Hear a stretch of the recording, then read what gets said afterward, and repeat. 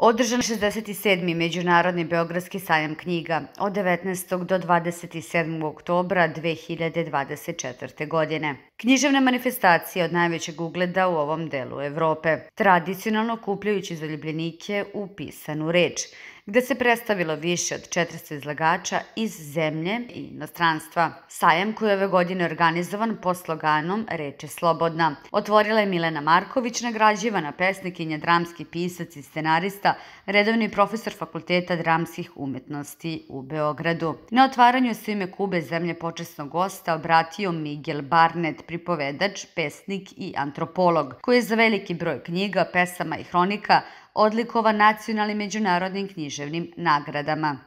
Osim predstavljanja autora sa Kube, ovogodišnje zemlje počasnog gosta i programa koje organizuje izdavači i izlagači tokom devet sajamskih dana organizovano je na desetine tribinskih programa u čijem fokusu su različite teme. Tribine su bile posvećene domaćoj i stranoj poeziji i prozi, prevođenju kritičarskoj teorijskoj misli, izdavaštvu, novim formatima knjiga, pirateriji u digitalnom okruženju.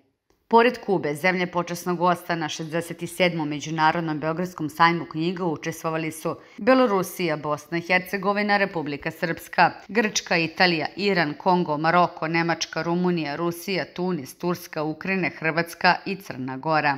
U okviru 67. Međunarodnog Beogradskog sajma knjiga Tradicionalno su dodeljene nagrade i ocenjena godišnja izdavačka produkcija. Nagrada za izdavača godine 2024. dodeljena izdavačkoj kući Kreativni centar. Između dva sajma objavili su 80 naslova. Nagrada za izdavački poduhvat godine 2024. dodeljena je ravnopravno.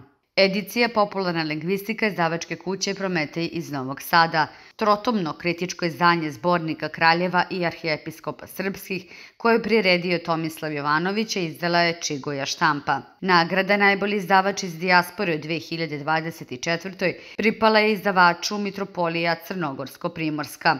Nagrada za dečiju knjigu godine je dodeljena knjizi Naš svet u hiljadu odgovora s izdavačke kuće Laguna, Mala Laguna. Dodeljene su i posebno priznanje za doprinos u oblasti nauke. Specijalno priznanje za izdavača knjigu ili strip, nagrada Bogdan Kršić za najlepšu knjigu, nagrada za najlepšu dečiju knjigu i specijalno priznanje za mladog dizajnera. Nagrada za izdavača godine 2024. dodeljena izdavačkoj kući Kreativni centar. Između dva sajma objavili su 80 naslova, sve ukupno ih je na njihovom štandu oko 1000 i po.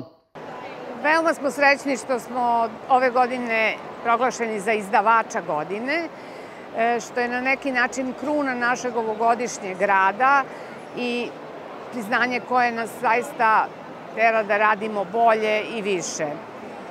Mi smo ove godine objavili 80 knjiga i na neki način zaokružili ciklus od našeg prvog izdanja Slikovnica Žapče e, koje su se pojavile pre 35 godina. Među našim ovogodišnjim izdanjima e, ističe se knjiga Giga pravi more e, Jasminke Petrović i Ane Petrović. To je zapravo ponovljeno izdanje prvog romana Jasminke Petrović koji do sada nije bio dostupan publici. Imamo e, nova izdanja za sve uzrastne grupe, od onih najmlađih e, do roditelja i e, ljudi koji se profesionalno bave decom. Naš štand je ove godine u znaku čuvara prirode, e, naša nova edicija e, na kojom na neki način idemo u skladu sa E, trenutnim važnim društvenim temama. Nagrada za izdavački poduhvat godine 2024. pripala je izdavačkoj kući Promete iz Novog Sada, edicija Popularna lingvistika, u kojoj između dva sajma objavljeno pet novih knjiga, postojano i delotvorno je strajava na ostvarivanju plemenite misije negovanja kulture, jezika i govora, kao jačanje svesti o značaju te kulture u savremenom društvu. Drago nam je što je žiri 67. Međunarodnog sajma knjiga prepoznao značaj naše edicije Popularna lingvistika i e, time pokazao da, da ceni e, našu doslednost u negovanju e, srpskog jezika i ćirilice. Ove godine ovu ediciju dopunili smo sa pet novih naslova e, među kojima se posebno ističe rečnik interneta i digitalne komunikacije Lazara Boškovića, koji dolazi među čitaoce u pravom trenutku kada je zaista sfera digitalnog nekako sve prisutnija i neophodno je koristiti se pravim i pouzdanim priručnicima. Takođe tu je i rečnik E, jedan neobičan rečnik e, uz koji, e, koji nam pomaže kako da se trudimo da koristimo što više domaćih reči u odnosu na one strane, da te strane zamenimo pravim našim rečima. Izdavačkoj kući Prometeju iz Novog Sada pripala je nagrada za izdavački poduhvat godine u 2024. za ediciju Popularna lingvistika, o kojoj između dva sajma objavljeno pet novih knjiga. Negovanja kulture, jezika i govora kao jačanje svesti i značaju te kulture u savremenom društvu. Evo sad smo predstavljali jedan neobičan prečnik gde je neki čovek o svom trošku napravio zamenu za sve te tuđice kojima smo zasipani. Nekad je to bilo lakše boriti se sa tuđicama, jer nije bila takva tehnologija koja se rasvetala i koja donosi rekvizite za koje nemamo ime. A kad je recimo u svoje vreme Srpsko učeno društvo se bavilo da zamenjuje strane reči našima, onda je bio, pojavio se ekvator. Pa se onda raspravljalo kako bi se to reklo na srpskom jeziku. Pa je Sima Milutinović Israelija školao reč polutar. I to je reč koja je rođena na srpskom jeziku, prihvaćena, primila se Tad smo se još uvek mogli braniti, a sada se ceo svet je zasut tom deponijom novih rekvizita, novih izuma koji donose i svoje ime. Pa ja mislim da više nigde na svetu nema ovakvog sajma, da ne kažem da nema ovakvih knjiga ali na drugim sajmovima po svetu tu se pojavljuju poslovni ljudi i ne vidimo čitalački narod. Na sajmovima na kojima sam bio po svetu samo sam video službenike koji sa tašnama ulaze iza nekih zatvorenih vrata i potpisuju neke zaključnice, neke ugovore, neke poslove.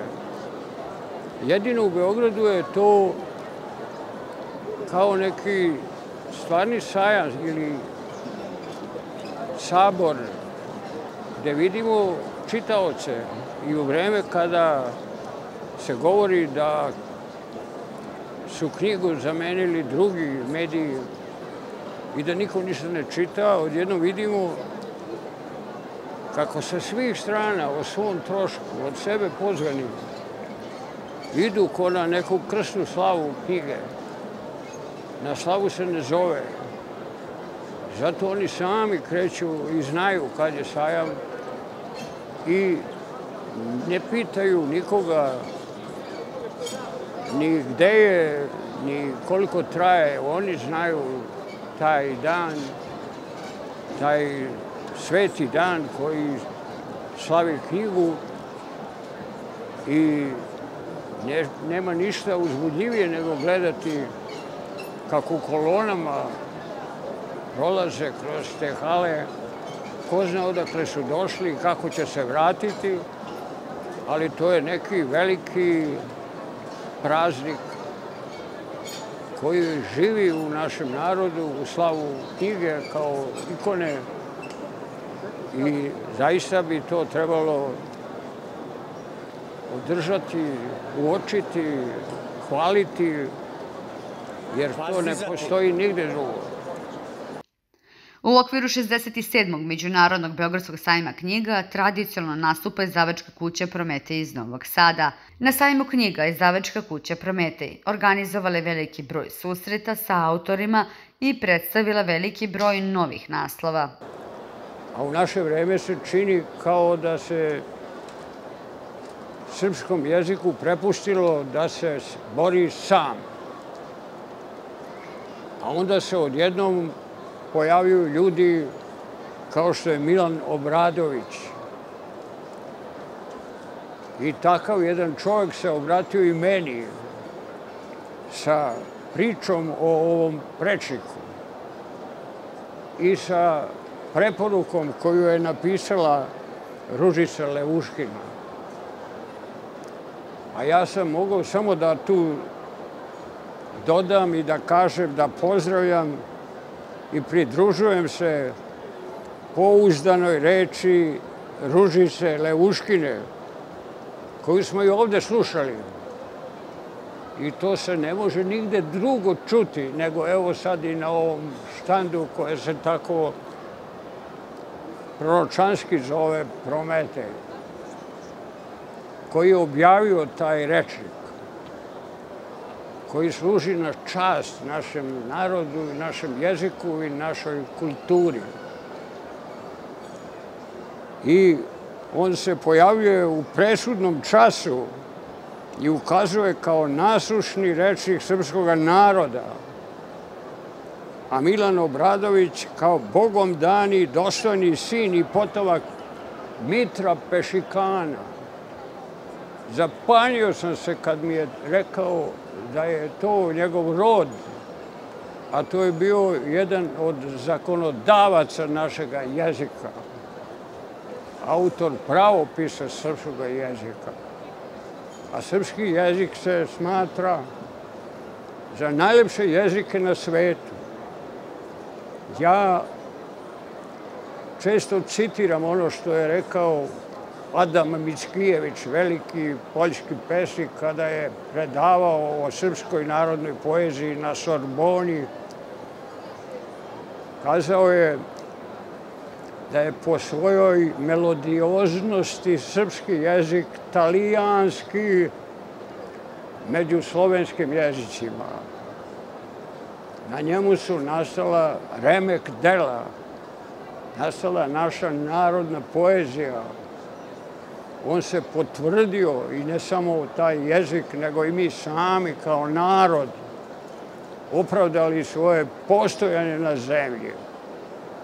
I kad on još rađa takve sinove kao što je Milan Obradović, koji je došao iz sveta u neko selo kod Valjeva i dao sebi truda više nego bilo koja institucija čija je to dužnost da o svom trošku i svom brašljeniku napravi tako jedno remek delo koje jeste s jedne strane borba za naš izvorni jezik, ali je to sve zajedno može da se doživi kao jedna poema o jeziku, kao jedna himna jeziku.